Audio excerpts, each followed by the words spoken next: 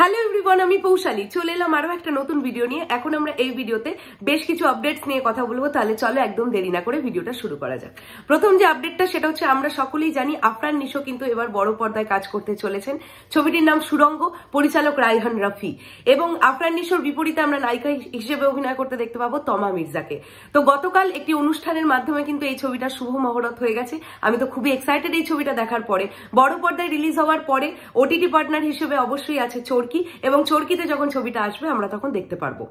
পরবর্তী যে আপডেটটা দেবো, সেটা হচ্ছে সলমান খানের আপকামিং ছবি, কিসি কা ভাই, কিসি কি জানের যেটা সেকেন্ড গান, বিল্লি বিল্লি, সেই গানটা আমি শুধুমাত্র গানটা শুনে একটা রিয়াকশন করেছিলাম। সেই গানটার টিজার কিন্তু আসছে আজকে ঠিক দুপুর বারোটার সময় এবং গানটা রিলিজ করা হবে সেকেন্ড অফ মার্চ পরবর্তী যে আপডেটটা দেবো, সেটা হচ্ছে বিনোদিনীকে কেন্দ্র করে। রুক্মিণী মৈত্রর বিনোদিনীর শুটিং কবে শেষ হবে, সেটার কিন্তু একটা আপডেট পাওয়া গেছে বন্ধুরা।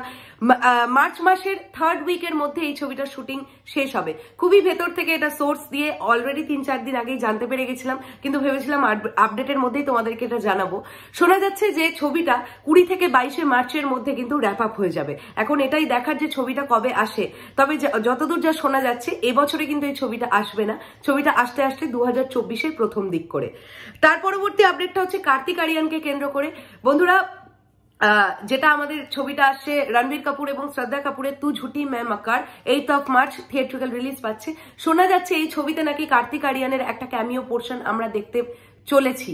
জানি না এটা কতটা ঠিক বা কতটা ভুল, এটা কিন্তু শোনা যাচ্ছে। নেক্সট আপডেটটা হচ্ছে ইব্রাহিম খানকে কেন্দ্র করে ইব্রাহিম খানের যেটা ডেবিউ ফিল্ম হতে চলেছে, সেই ছবিতে পৃথ্বীরাজ সুকুমারন এবং কাজল জিরো একটা বড় অংশ থাকবে ছবিতে। মানে তারা দুজনও কিন্তু থাকতে চলেছেন, এমনটাই জানা যাচ্ছে। পরবর্তী আপডেটটা ফার্জিকে কেন্দ্র করে। আমরা সকলেই জানি ফার্জি প্রচণ্ড ভালো হয়েছে একটা সিরিজ। শাহিদ কাপুর নিজে জি সিনে অ্যাওয়ার্ডস নিজে ঘোষণা করে দিয়েছেন যে ফার্জির কিন্তু পরবর্তী সিজন আসবেই। এটা নিয়ে আর কোনো দ্বিমত থাকছে না। সর্বশেষ যে আপডেটটা দেবো সেটা প্রজেক্ট কে কে কেন্দ্র করে। প্রজেক্ট কে তে আমরা প্রভাসকে দেখতে পাবো লর্ড বিষ্ণুর চরিত্রে, যেটা প্রেজেন্ট টাইমের লর্ড বিষ্ণু ছবিটাকে নিয়ে প্রচন্ডভাবেই খাটা হচ্ছে, আমরা সকলেই জানি। তো এই ছিল এখনকার আপডেট ভিডিওটা ভালো লাগলে লাইক কমেন্ট শেয়ার করে চ্যানেলটা সাবস্ক্রাইব করে দিও। পাশে থাকা বেল আইকনটা অবশ্যই প্রেস করে দিও। চলো বন্ধুরা, তাহলে দেখা হচ্ছে খুব শিগগিরই নতুন কোনো ভিডিও নিয়ে।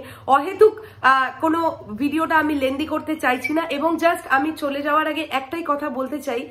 আমি কারোর নাম নিয়ে বলছি না বাট আমি দেখতে পাচ্ছি যে চ্যানেল থেকে ভিডিও তৈরি হচ্ছে।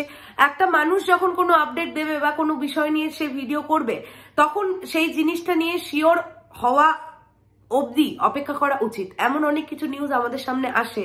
যেমন সত্যি বলতে কি, আজকে আমার কাছে এমন একটা নিউজ সত্যি বলছি, সকালবেলা এসেছে।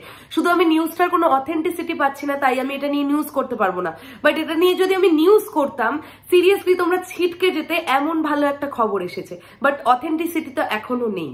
সো আমার মনে হয় যে, এই আপডেটসগুলো যতটা অথেন্টিক হবে আর কি, ততটাই আমাদের চ্যানেলের পক্ষে ভালো এবং তোমরাও বেশি বিশ্বাস করতে পারবে আমাদের। এটা আমার ধারণা। তোমাদের কি মতামত? পুরো আপডেটস গুলোকে কেন্দ্র করে অবশ্যই কমেন্ট করে জানাও। ভিডিওটা ভালো লাগলে লাইক কমেন্ট শেয়ার করে চ্যানেলটা সাবস্ক্রাইব করে দিও। চলো বন্ধুরা, টাটা!